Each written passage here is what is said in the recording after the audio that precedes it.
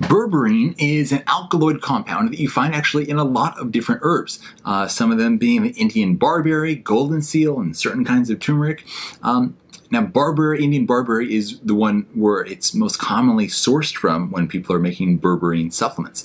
Uh, it's, but it's also found in other things like uh, coptis and phellodendron, which are two herbs that have been traditionally used in China for thousands of years for treatment of diabetes.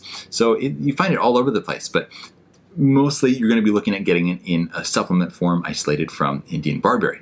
Uh, it tastes horrible, by the way, so don't ever make the mistake of getting it in powder. It's like it's one of the worst tasting things out there. Even when you get it in capsules, like small amounts of the powder will make it you know sneak out of the capsule, and so you're going to taste it a little bit when you're just taking the capsules usually. It's gross, but this stuff is so good for so many areas of health that it's worth it. Uh, so one of the first things we want to look at here is how it, affects insulin resistance and blood sugar balance. So there was a three-month study, and this is what's talked about the most, this specific study where they found that it controlled blood sugar and lipid metabolism as effectively as the prescription drug metformin, which is the most commonly prescribed drug for diabetes. And this is when people were taking berberine uh, as 500 milligrams two to three times a day. 500 milligrams three times a day is the most common recommendation because berberine has a very short metabolic half-life in the body, so it doesn't it doesn't hang around for that long. And it's, it's also working on other things. It's helping with high blood pressure. It's helping with cholesterol, as supported by the research.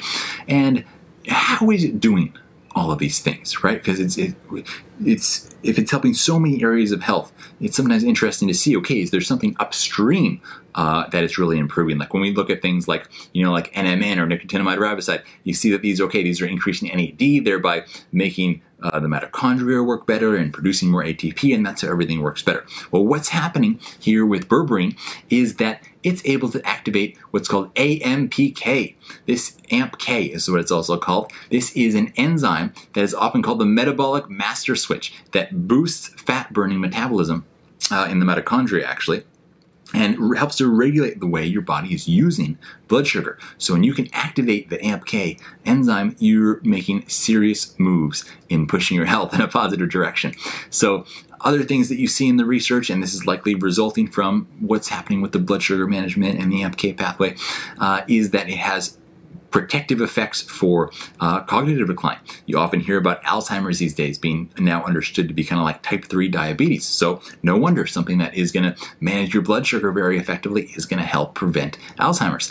Uh, now, another area that we can look at in terms of how berberine is working is that it appears to very effectively kill off bad bacteria while leaving the good bacteria unharmed and really shift the balance in the gut microbiome. So it is also shown to really be helpful with SIBO, which is small intestinal bacteria overgrowth, uh, because of the way it's able to kill off the bacteria there, because you don't want a lot of bacteria actually growing in your small intestine. So you want to kill those guys off and get everything pushed back into the large intestine.